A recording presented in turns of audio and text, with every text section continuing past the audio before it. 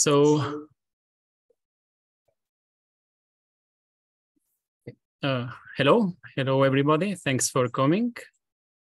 Uh, I will present uh, harnessing machine learning and high performance computing in adaptive optics for high contrast imaging in the Subaru telescope. Quite long uh, title.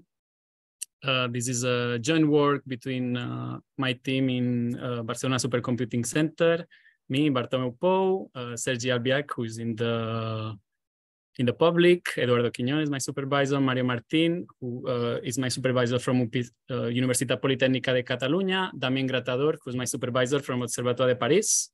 And also I collaborated with the people from the Subaru Telescope, uh, among others, Vincent Deo, Kyohoon Ahn, Sébastien Vievard, Julien Lozi, and my supervisor there, Olivier Guyon.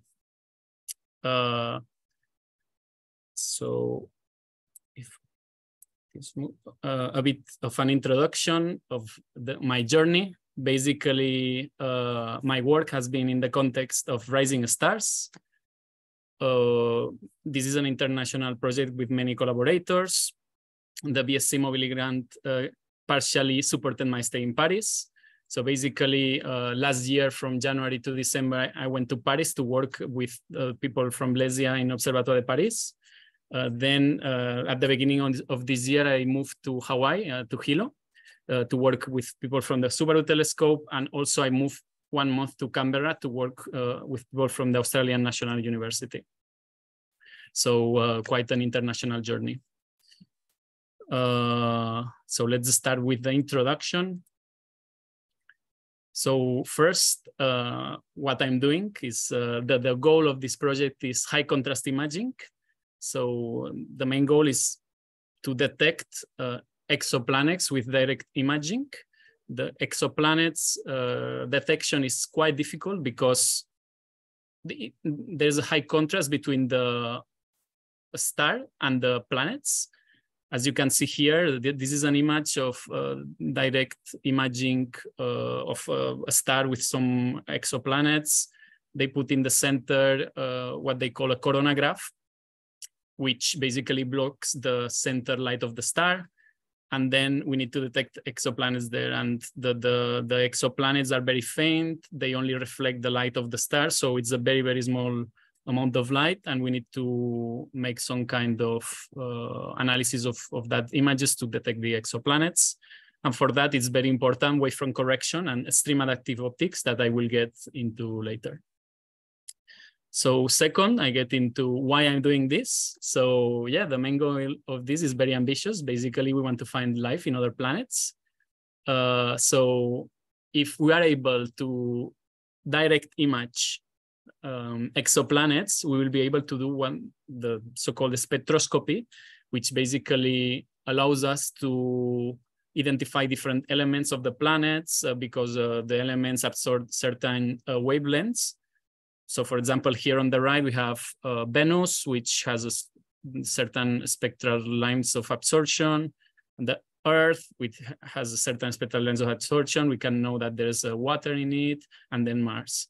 So if we are able to direct image exoplanets and then we do spectroscopy, we will mm, be able to find what they call biosignatures, basically signs of life. Uh, so it's it's uh, very interesting.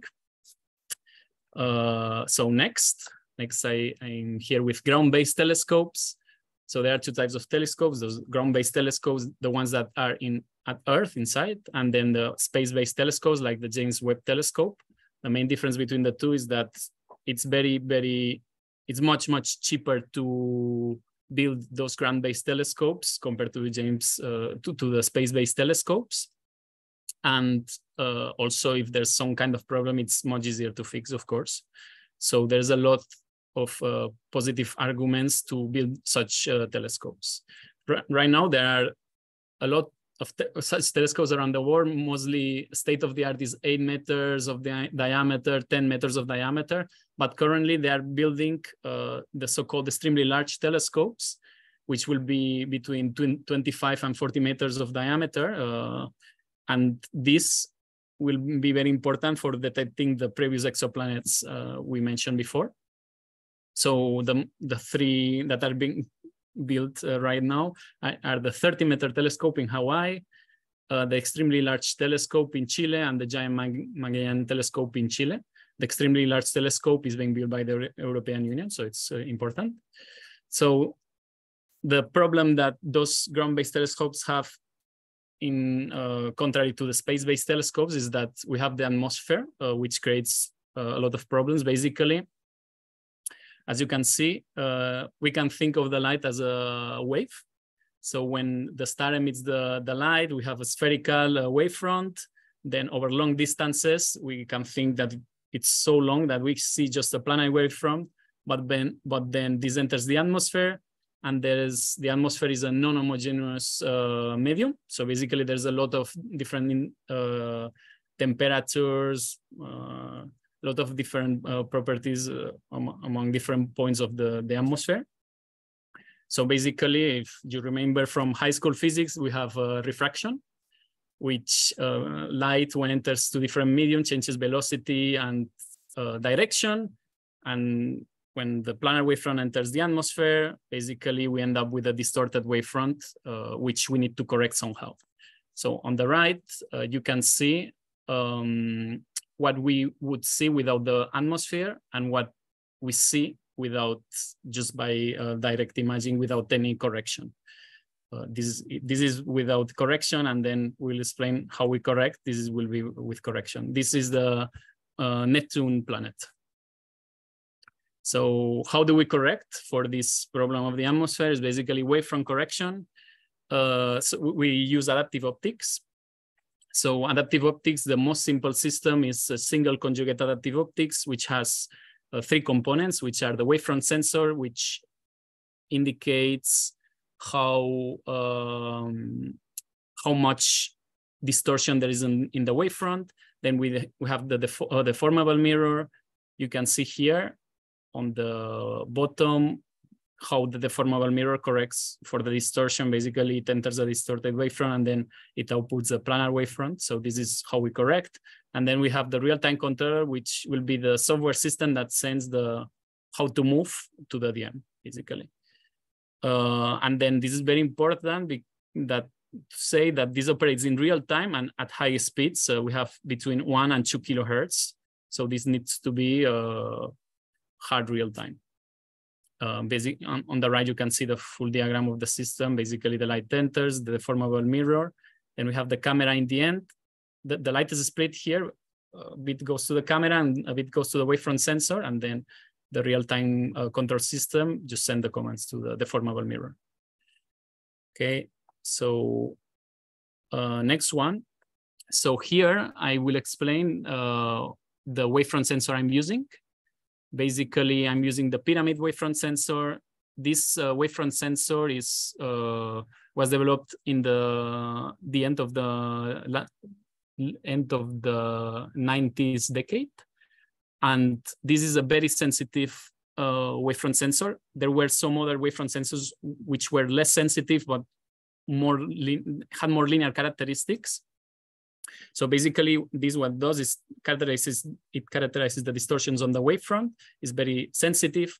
However, compared to other wavefront sensor, it, it has a more nonlinear relationship between the output of the sensor and the phase we are trying to correct. However, uh, despite having a nonlinear relationship between the sensor and the phase, they usually build uh, just a linear relationship between the output of the sensor and the commands you should um, send to the DM to correct for this phase. Here I have a diagram of the wavefront sensor. I, I won't get into detail, but basically it's called pyramid wavefront sensor because we have a pyramid in the center and this produces four phases. So basically the light uh, the light focuses on the tip of the pyramid and because the pyramid has four sides, we have four faces, and this allows to estimate the gradient of the, the incoming wavefront. And then on the right, we have a top-down image of the pyramid wavefront sensor that I got it from SCExAO, the, the Subaru telescope, sorry. So next, uh, once they have this uh, linear reconstruction with this simple matrix vector multiplication, uh, we need to think how to put that into the system because it's not as easy as just getting that um, reconstruction and put it into the DM to correct for the wavefront because we have many sources of error that can um, that can diminish the performance of that reconstruction. For example, we have noise, we have temporal error. When we reconstruct the, the phase, there is a delay. When we put a, a command into the DM with the real-time controller, there's the time that it takes to compute that command and the time it would take to move the DM. So there is some kind of delay. And there's a temporal error, which so we need to take into account that there's nonlinear effects on the pyramid wavefront sensor. It's uh, one of one of the sensors that have the most nonlinear effects. There's aliasing. Uh, so basically, what they usually do is this integrator log um, basically takes the reconstruction at time t, and we integrate over time with the previous commands. So the C uh, big is the the command that we will send to the DM, and the C small is the current reconstruction and the current time step. And we just sum the reconstructions over time. Um, so important for high contrast imaging, the main source of error is the temporal error. So we should, if we want to diminish that source of error, we should do uh, the, the how, how we set the commands into the DM more intelligently. So to do that, they come up with many, many algorithms of predictive control. Basically, we need to take into account that when we put a command at, at a certain time step, the atmosphere will have evolved when the command is when the DM is really moves um, into into the position we want. So we need to build some intelligent algorithm to make that uh, work better, basically. Okay. Uh, finally, just uh, an introduction to modal basis. Basically, uh, this is a concept where they use predefined shapes of the, of the formable mirror that have certain properties. For example, they are orthogonal between them or mostly orthogonal. Uh, one example to do that is just take the distance on actuate of actuators and do the a principal component analysis on that, and you, you get these really nice shapes. So basically, you can describe a face as a sum of those predefined shapes. Um, and you have lower spatial frequencies on on the you have lower modes so low lower spatial frequencies modes where you have very shapes with uh, very low spatial frequencies and uh, shapes with very high spatial frequencies. So sometimes in the pyramid wavefront sensor, we have this problem that you get confusion between modes. Uh, the, the problem especially are in the high order modes. So sometimes we need to filter, basically we cut them of the of the reconstruction because otherwise nothing works. Just a, an introduction to modal basis. Okay, so now let's go back. Let's go to the to the Subaru telescope. In the Subaru telescope, I was in uh, this team, the Subaru Coron Coronagraphic Extreme Adaptive Optics team. So some some description of the Subaru telescope. So basically, the Subaru telescope is you see the image on the left. Um, it's, uh, it's located in Big Island, Hawaii, United States. It has 8.2 meters diameter and it's uh, at uh, 4,000 meters. And the team, the Subaru Coronagraphic Extreme Adaptive Optics, the goal is, as I said, uh, high contrast imaging. And they have uh, their system here. So first is that on the left, we have the telescope, but on the right, we have the adaptive optic system, which is SCExAO, which is very, very small compared to the telescope. So the deformable mirror actually is very, very small. Don't imagine that it's a huge telescope. Um, so yeah. So more on SCExAO.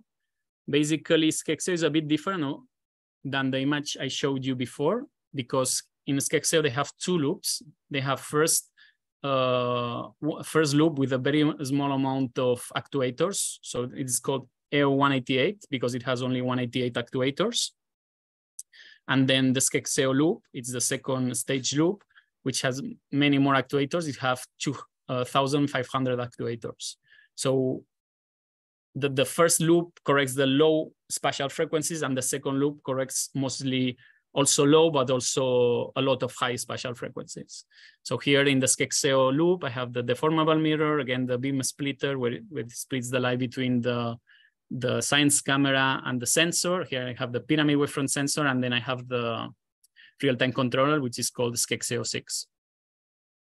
On the right, just an image of the of the server box of the, the rack where we have the different GPUs in the, this is in the telescope, I took it myself. And important to know that we have uh, in this system, we have five GPUs and two CPUs with 64 cores each. This will be important for later. So the motivation for my work is basically, as I said, high contrast imaging requires exquisite phase reconstruction and we need prediction in real time and I also want to experiment in a realistic environment. So basically what I did is uh, I developed a plugin to handle the real-time uh, streams and to connect to telescope software. I used uh, the TensorRT, which you know, basically is a, a library of NVIDIA for optimized neural network inference. And I connected this with Milk and Cacao, which are the packages that they use for the telescope software to, to connect to the different data streams. And we also tested these new machine uh, methods on the SCExAO bench. So still we haven't tested on Sky, we just tested on the bench with the DOM, DOM closed. So the different al algorithms.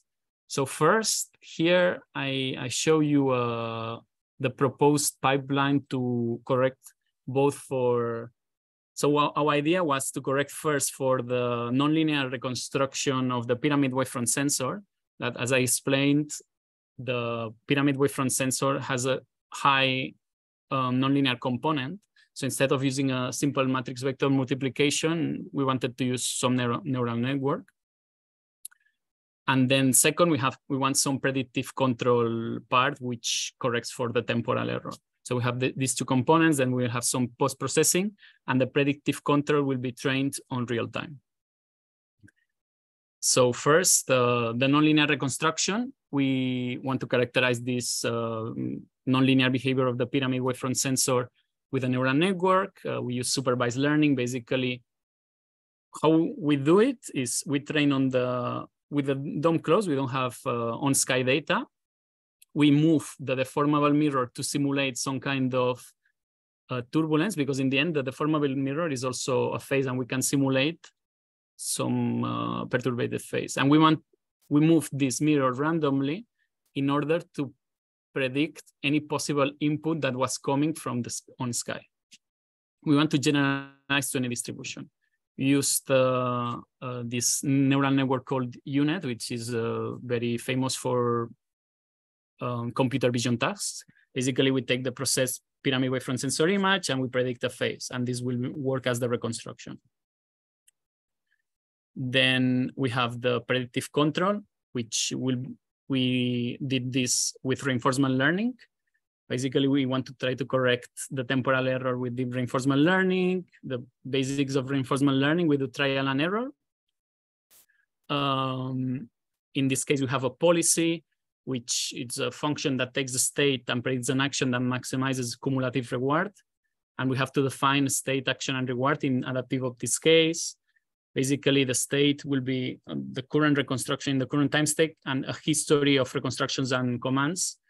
You have to think that um, this history is necessary for the predictive control because we need to predict what will happen in the future based on information on the past. And then the reward basically is to minimize the reconstruction value because if we have reconstruction that is zero means that the wavefront is planar. And finally, the action will be uh, some kind of integration over time, as in the integrator case. Uh, this is also important that will be online training. So we need to train in real time.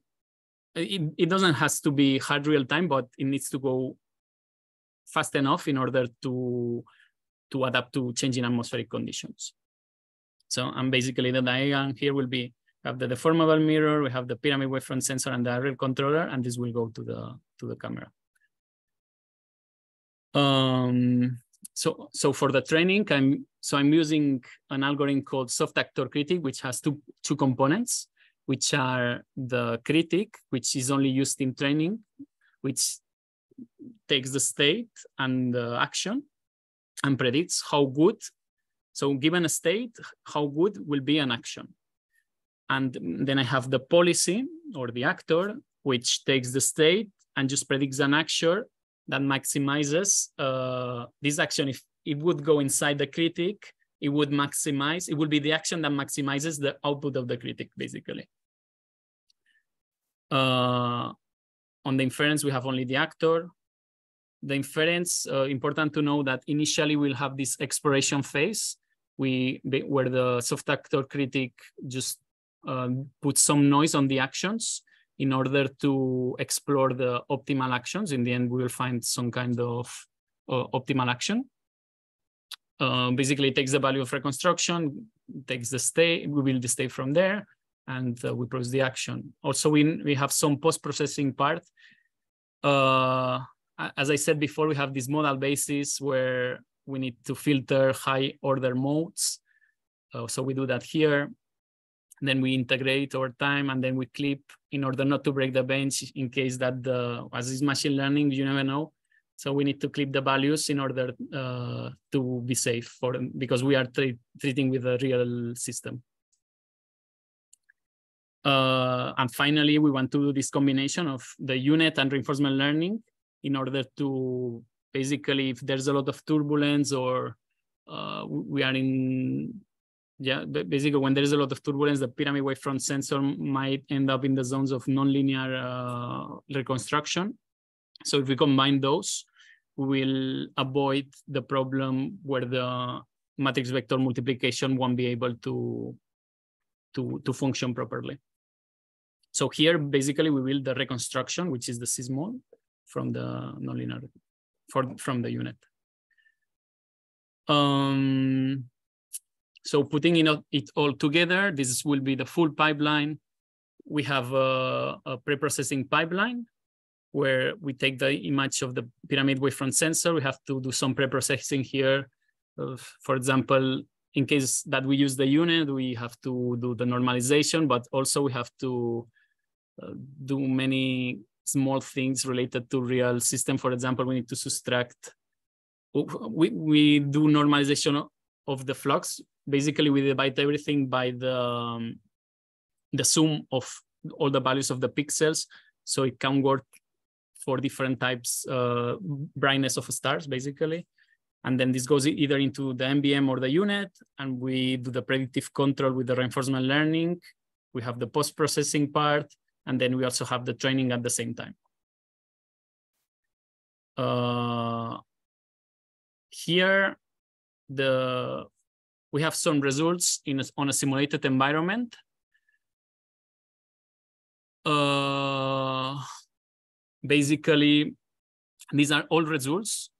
Uh, initially, we, we simulated these algorithms on a simulator called Compass, um, and we got some results.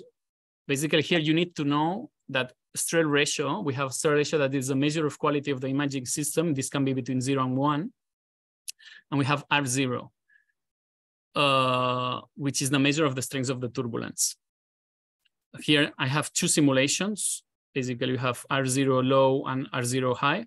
So R0 high, the turbulence is uh, less, uh, yes, less strong, and R0 low, the turbulence is worse. We have y-axis Strehl ratio. We have x-axis the frame number.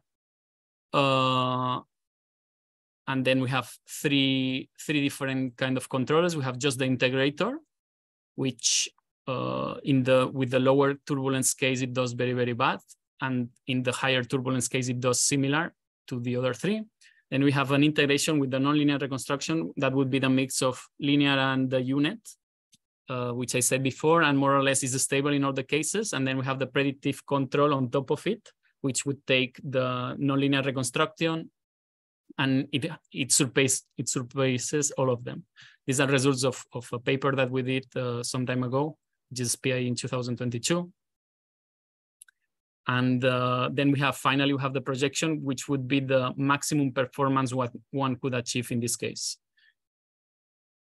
Um, so now we need to go from the simulation to SCExAO. So basically some things that we need to take into account. Basically, we, we don't have uh, access all the time. So before I could train my models all the time and find a, and find a solution at some point, but that's not possible anymore. Also, the, the hardware it's important. Before I could use a lot of GPUs, but here they only have five GPUs, the, the ones I mentioned before.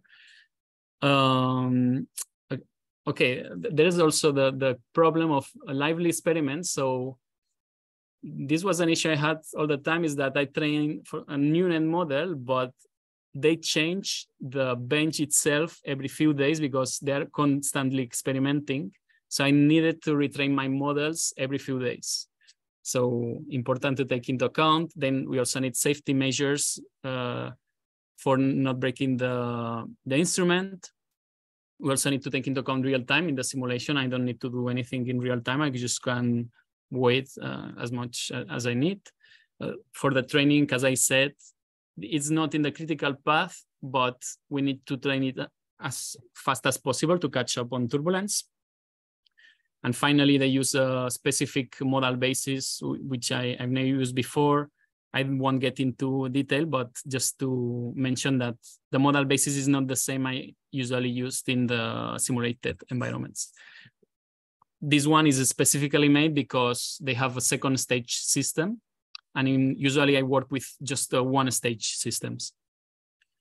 So let's deploy the neural networks into SCExAO. Uh, so in, in SCExAO, they use uh, this library called MILK, which stands for Modular Image Processing Library Toolkit. Uh, is basically high performance image processing with shared memories. This has three components, which is the function parameter structure, which is basically reading and writing for uh, parameters for processes.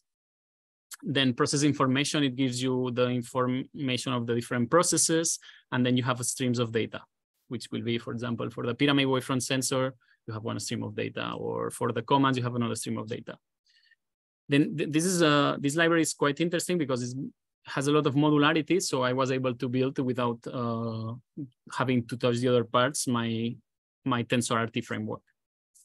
So here I have uh, the, the diagram of the different three parts. So basically we have shared memories that are modifiable by any processes in the, in the software, which are the streams. And then we have the shared memories that are linked to a single process, which has the process info and the function parameter structure. Um, here I have uh, so Cacao, actually, this is compute and stands for compute and control for adaptive optics. So milk in, could be applied to anything in general, but Cacao is the application of uh, milk to adaptive optics and the software of the Subaru Telescope. So here, basically, uh, I'm showing an example that they have uh, for uh, Cacao.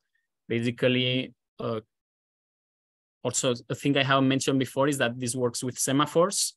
I have a camera which grabs the frames and then based on the semaphore values, we can process it and then this goes to the deformable mirror and so on.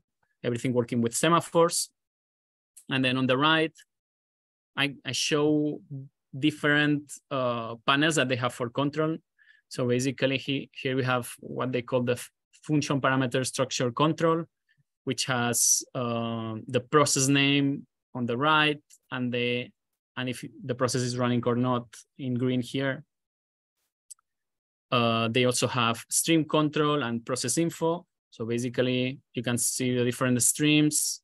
You have uh, the stream data type, the stream name, and the update frequency. So you can know how fast is your stream updating. And then the process info is just saying if the status if it's active or it has crashed and the process name.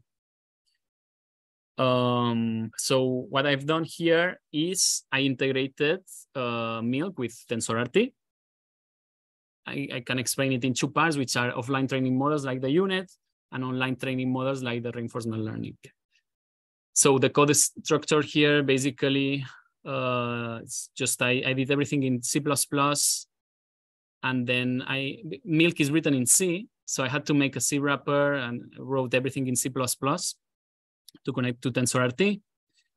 And then for offline training models like the U-Net, it's very easy. It's just uh, we have an input stream, we have normalization, and then with this TensorRT model, which I just trained in Python, and I just put it into this code. And then uh, we have the denormalization and then the output stream. So quite simple. Uh, however, the online training models are a bit more complex because, well, we have the Python. So we have the the training process, which currently is in Python, and we have the the the inference process, which currently is in C and C++.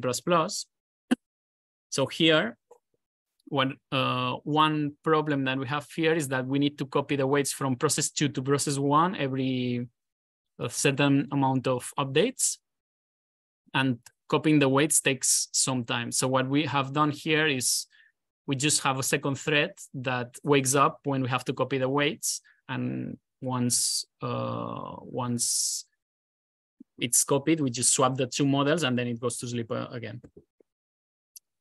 And basically this way we avoid the time of copying the, the weights. So some results from the, the bench. So first here, uh, I have the the some results in for the reinforcement learning in the SCExAO bench. So some things, the, the loop is running at two kilohertz. We're controlling 500 modes uh, with a bright star. The atmosphere turbulence, we are simulating it with the, with the deformable mirror movement. That means that we're not observing the sky. We're actually simulating some kind of turbulence profile this is just testing for later uh, test on sky. Uh, well, we have certain parameters like wind speed or the amplitude of the atmosphere.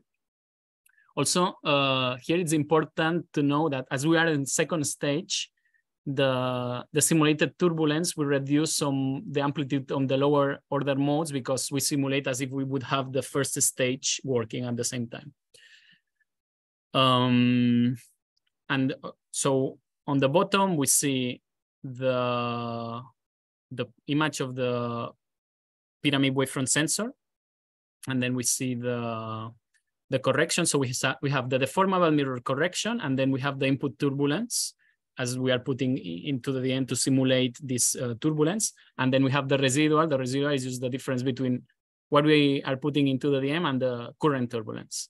So you see that it's it's reduced by uh, one order of magnitude.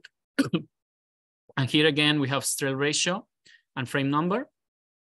Uh, we have just the reinforcement learning uh, and the integrator, uh, which is the linear reconstruction um, uh, control law. And then we can see that after 20,000 frames, more or less, we, we get uh, to surpass the integrator performance. The Strehl ratios here are quite high because here, as we are putting the turbulence in the deformable mirror, we don't have extra added turbulence that would be higher frequencies that the deformable mirror can make, basically. So that's why it's almost one. But probably when we observe on sky, this would be 10 points uh, lower. And also important to know that the eval equals true is the point where we stop exploring and we just uh, select the optimal actions without any other noise. Um, so some results of the U-Net. So how we did the, the, the U-Net training was to basically we move randomly the, the deformable mirror. We gather a data set of wavefront sensor image and face, And we train the U-Net with uh, some loss and again, well, yeah, the model only worked for a few days, so we had to retrain everything every few days. Uh, here I have some results of the U-Net. So basically, uh, we can um, predict, we can move the deformable mirror to certain shape and see how the U-Net does and see how the linear reconstruction does. So here on the top, we have the, the reconstruction of the phase of the U-Net and on the bottom of the linear reconstruction. And then we have the current turbulence that we put into the DM, and we have the residual, which is the difference between the two. This one is quite similar in, in value in the residual, so it's very similar, but on the right, I show another image which shows the the residual mean square compared to the input turbulence mean square. So basically, we want this to be zero. And we have two curves. We have the U-Net and we have the linear reconstruction. The As we see on the lower uh, lower tur input turbulence, the U-Net makes it uh, linear reconstruction and U-Net is more or less the same uh, value of reconstruction. But once we go to stronger turbulence values, the U-Net does much better. Um, some other results. Uh, basically here, uh, I'm showing uh, some results of how much time it takes for in, average. So if can we run at either one or two kilohertz? So I run uh, different processes at uh, some loop frequency. So in this case, I, I run it at one kilohertz. I'm uh, using two GPUs, a 6000 uh, RTX 3080 and one CPU core per process. And I'm using this uh, U-Net. And here I have the average time of the critical path is uh, this value. So we, we could run at more than one kilohertz if, if we wanted. So it seems uh, quite good for the U-Net. Then we have the same for the reinforcement learning, but with uh, MVM. So no U-Net, just linear reconstruction. Um, here it's the full pipeline, but just with the matrix vector multiplication. And then here it's uh, this values, so it's 0 0.5 uh, milliseconds. So we can run on more than two kilohertz. So this is perfect, more than enough. Uh, and finally, we have the combination of everything. Uh, this one is a bit more tricky. So here we are using four GPUs. We need uh, one GPU for the inference of the reinforcement learning, one GPU for the U-Net, one GPU for the training, and the, uh, one GPU for the MVM if I'm using the combination of U-Net and MVM. And this could run at around one kilohertz. We are working uh, right now into, into looking if we can improve these times. Uh, uh, yeah, well, here is uh, some example of what we run. So, so this is the milk interface. So basically here I show two things. I show the, the stream control where we can see the how fast is this shared memory called dmdisp01 updating. Uh, this is basically the command I sent to the deformable mirror. And then here I uh, we have the different processes. I will activate this U-Net reconstruction five, which is the U-Net basically integrated. And then we have the, the pyramid wavefront sensor on the left. Uh, this one is after processing. So it's not the real image, it's just a processed image. And then here they have a panel where we show different channels of the deformable mirror. So the output on the deformable mirror will be the sum of the different channels.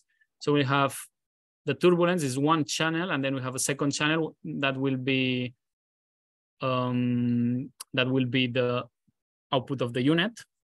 And uh, yes, basically this is just to show that everything works uh, more or less on, on real time. So here we activate the U-Net and we see the output of the U-Net and we see here the sum of the U-Net and turbulence uh, here. Uh, here we see the, the frequency I achieved. If I, if I don't cap, it achieves more than one kilohertz. Um, so some issues here that I'm working currently. Basically, I have some jitter, yes. Uh, oh, sorry. So basically here, uh, this is the just uh, iteration time by by the time it takes for every iteration for the U-Net. So most of the time it's it, it's around the average time I showed you before. However, I have some spikes that I'm currently looking into. So this is very important to solve uh, if we go on Sky because otherwise I, it will not work. Um, I have similar results for the reinforcement learning and of, especially for the combination of reinforcement learning and U-Net. So it's a thing that it's a work in progress. Also, second thing that is work in progress is the the the time it takes to learn. Basically, as I showed you before, from scratch, it takes around 25, 20,000 uh, frames to learn. So if the time for update uh, is uh, 0 0.08 uh, milliseconds, we take uh, 26 minutes. Uh, so while this is true, still reinforcement learning won't be learning from a scratch all the time. So we need to, maybe it learns fast enough. But I, I'm working currently in trying to make the training time faster. And uh, so finally, so well, yes, the, the goal here is to open the dome. So we want to on Skype uh, of this culture within neural networks. So here an, an image of the Subaru telescope opening the dome and observation on, on, on Sky. Uh, basically, I have implemented different models on SCExAO. I have validated them on the simulation. I have done the real-time implementation uh, and have validated them on the bench. However, I need to do few things before going on Sky, which first I need to reduce this jitter. Uh, again, I need to improve the training time and I need to test all of it in real time, all the components in real time on the bench. Uh, and uh, that's it.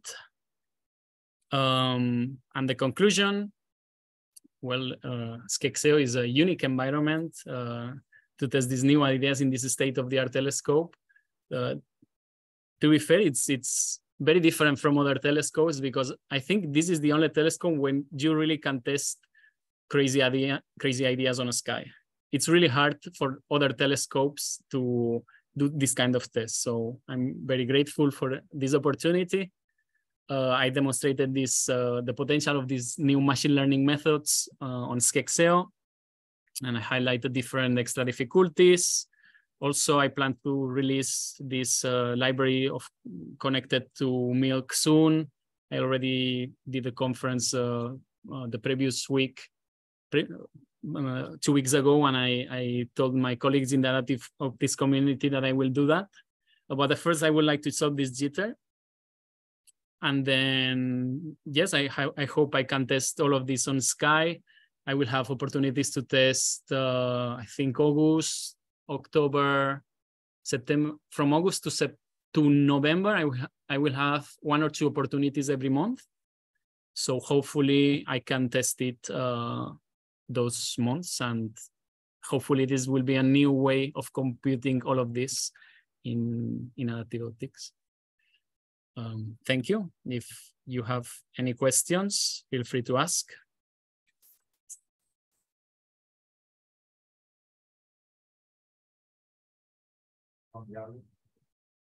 Questions? Uh, um, to ask how many times do you have in the model, how big is it?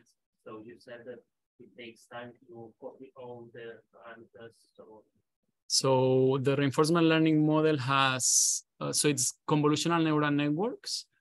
Uh, and it has two hidden layers of uh, three by three filters and uh, six, so 64 filters each hidden layer and the kernel size is three by three. So the number of parameters there, I'm not uh, sure on the top of my mind, but it's not so big, this one.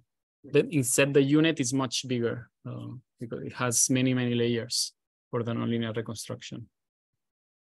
And they probably used like for the training, so you uh, predict the uh, future based on the um, how, how many images do you have from the training and the pool? So it's uh the pool is constantly updating. I, I cap it that I keep the last 50,000 images. Uh, I this is something that maybe I could optimize. Maybe I could discard everything every 10,000. But in the end, after, in the end here, after 10, 20,000, it learns. So I need to, yeah, in the end, if 50,000, we'll keep everything here. So it's a, maybe a number to optimize actually. And, uh, and the quality of images, the size of them is? Uh, so in this case, it's uh, 50 by 50 uh -huh. input and output. Instead, for the the U-Net, uh, for the U-Net, I have 120 by 120 is the input because the U-Net takes the pyramid wavefront sensor image, and the output is 50 by 50, which would be phase because, because the deformable mirror has 50 by 50 actuators. Um, yeah, and one more question. Mhm. Yes. Uh, you choose this map because it's because of the uh, type of images, like because it's high, mm, high contrast imaging. Oh, Okay, so for reinforcement learning, it's um, so I choose the is- this is mm, convolutional neural networks because imagine that you have a deformable mirror. Uh, so the solution in the top left part of the corner can be also used in the bottom right part of the deformable mirror. So we so convolutional neural networks make it learn very fast because of that that one solution in one part of the image it can be used in the other part of the image.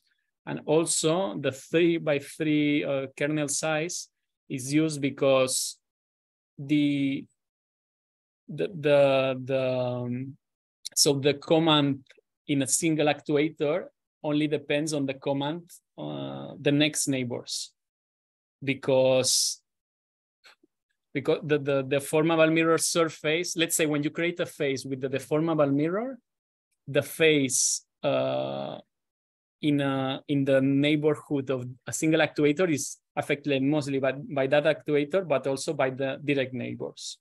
That's why I use three by three and not five by five. And uh, for the U-Net, um, I also tried to use a simple network, which for the U-Net is it's a bit harder because we translate from so from the reinforcement learning, we transfer transfer from reconstruction to commands. So it's 50 by 50 to 50 by 50. But for the U-Net, it's 120 to 50 by 50. So there's not this kind of relationship because the pyramid is way from pyramid wavefront sensor image, it's harder to have some kind of intuition. So I just tried the U-Net and it worked. But with the smaller networks, it didn't work so well. I don't know.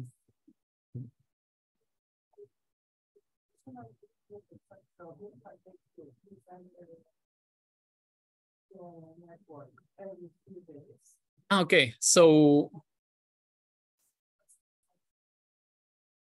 okay.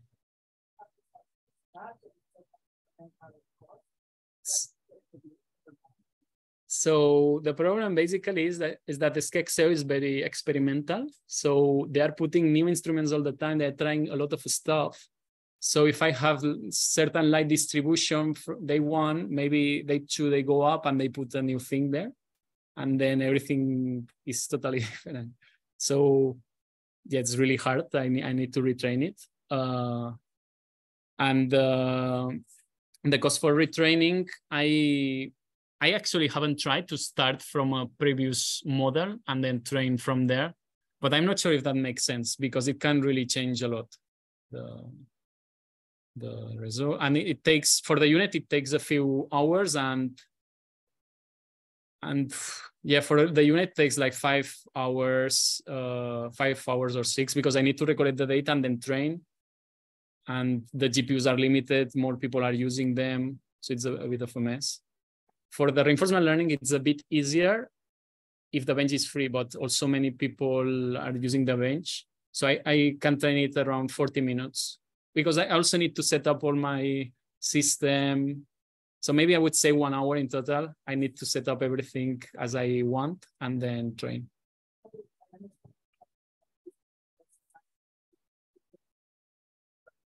Yeah. So if it, I think that if we go to these extremely large telescopes, they will have everything uh, like very established, so nobody can touch anything and probably the model will work for many months, I would say. That's what I expect, but I'm not sure, to be honest. Okay, is there any other question from the audience? Okay, so we have a question from the online. Mhm. Audience, so how you can read it? Uh, why jitter is so important and how do you investigating what is causing it? So uh, let me put the image of the jitter. So basically, well, jitter is very important because I will lose frames. So if I lose frames here, um, as we are in a closed loop system, maybe we are integrating commands of the past, and this can cause that the loop crashes and it diverges and it breaks. And this, even just for the integrator or, or using the U-Net as a integrator with a nonlinear reconstruction. But for the reinforcement learning is worse because as we are training online, maybe it thinks that something has happened, but we lose a frame and it hasn't happened. And then the training does not work uh, as expected. And this probably will, will make it crash even more. I haven't quantified this, but I'm sure, especially for the reinforcement learning, this is an issue. And uh, what is causing it? Okay, this is a good question. Uh, so I have some hypotheses. He's asking, how do you investigate? Okay, how do I investigate? So um, what I'm trying to do now is doing some kind of uh, trace with uh, uh, profiling with uh, NVIDIA Nsight. Uh, so I'm trying to get the profile and to see uh, the, how much every function is, is taking. And the cause of this, I'm not sure, but maybe I, I'm suspecting it's something related to the memory or the CPU, not the GPU. Uh, so I'm not exactly sure. They have, I'm, I'm taking a look at the, so they have some kind of CPUs that they allow for the, they have 120 cores, as I said before, two CPUs. So what I do when I do this real-time test, I just lock some of the CPUs only for my processes. However, I'm not sure if I'm doing that correctly because even sometimes I get different results. Uh, so I'm not sure what's happening. I think it's something related either to memory or CPU. So I'm, I'm taking a look there with the, the profiling. I don't know if that answers your question. Okay, um, so if there are no, yes. Okay. Yes, yes. So if there are no further questions, I think we can close. Thank you very much. Okay, thank you.